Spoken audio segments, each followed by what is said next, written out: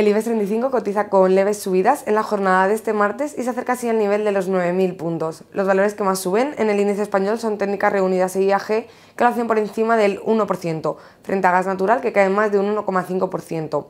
En el plano empresarial, la agencia de calificación Finch ha rebajado la calificación de Telefónica por sus problemas para reducir la deuda. La compañía cotiza en la jornada de este martes con subidas por encima del 1%.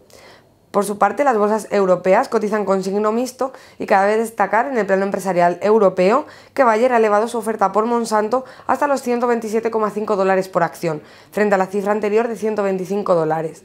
En el mercado de petróleo, Arabia Saudí y Rusia han firmado un, un, acuerdo para cooperar con el objetivo de impulsar los precios del petróleo. Puedes seguir informado en mosamanía.com. Muchas gracias.